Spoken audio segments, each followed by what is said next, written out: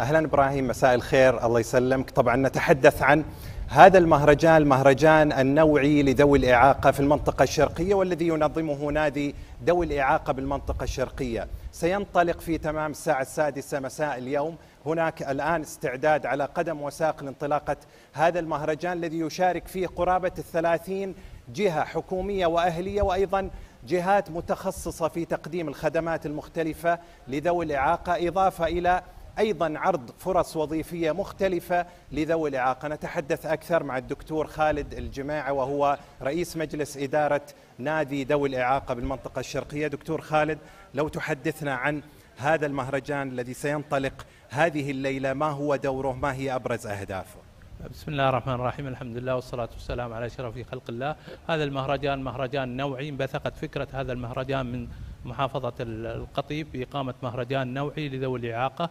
آه، تقدم الخدمات آه، للأشخاص من ذوي الإعاقة سواء التشخيصية أو التقييمية أو العلاجية كذلك الإرشادية. للأشخاص من ذوي الإعاقة تقدم لهم الجلسات سواء في تعديل السلوك أو الجلسات التخاطب أو العلاج العلاج الطبيعي والوظيفي مجانا لهم.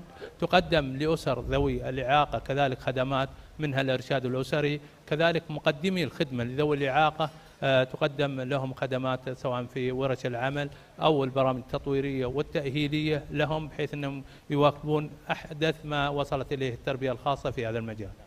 دكتور لو تحدثنا عن الجانب أيضا هناك فرص وظيفية سوف تطرح وهذا يهم أيضا كثير من ذوي الإعاقة الذين سيتواجدون بالتأكيد خلال أربع أيام مدة هذا المهرجان، لو تحدثنا عن هذا الجانب. طبعا مع بالتنسيق مع مؤسسة السعي لتوظيف الأشخاص ذوي الإعاقة تم خلال هذه الأيام وخلال هذا المساء سينطلق إن شاء الله في بعض الوظائف والعقود للأشخاص ذوي الإعاقة في مقر المهرجان وهذا ما ينعكس على أهمية المهرجان، المهرجان جميع ما يدار من خلال ذوي الإعاقة سواء كمجال تطوعي كمجال خدمي منهم آه، كذلك المصور آه، المصور. دكتور هذه إشارة جميلة جدا. أنا يعني إبراهيم والسادة المشاهدين شوفوا حتى الكثير من المشاركين والمنظمين وأيضا المتطوعين هم من ذوي الإعاقة هذا جاسم الأبيض مصور من ذوي الإعاقة السمعية. يعني دكتور لو تحدثنا عن هذا الجانب. الجانب إحنا سعينا بحيث أنه يكون المهرجان نوعي لهم من خلال الخدمات اللي تقدم من خلال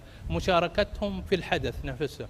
يعني الأشخاص ذوي الإعاقة لهم آه، مهام سواء في المهام التطوعي التطوع في مهام تقديم الخدمة في المساعدة في الحديث عن أنفسهم والحديث عن البرامج اللي يقدمونها. شكرا دكتور شكرا شكرا جاسم. طبعا هذه يعني بس أنا راح أقفل هنا عند الكشافة السعودية. شوفوا كيف الأجواء قبل افتتاح طبعا هذا نعم. المهرجان الذي سيستمر لأربع أيام هنا في مشروع الرامس بوسط العوامية. خلينا إبراهيم والسادة المشاهدين بس نقفل مع الكشافة. تفضل. كشاف استرح. استعد. استرح. كشاف دوما مستعد. تحية خذ ايدي أسفل. صيحة كشفية ابتدي. أشرق النور وبانا مرحبا بمن أتانا. أشرق النور وبانا مرحبا بمن أتانا. عشقنا حب التميز بقطيف الخير دانا. عشقنا حب التميز بقطيف الخير دانا.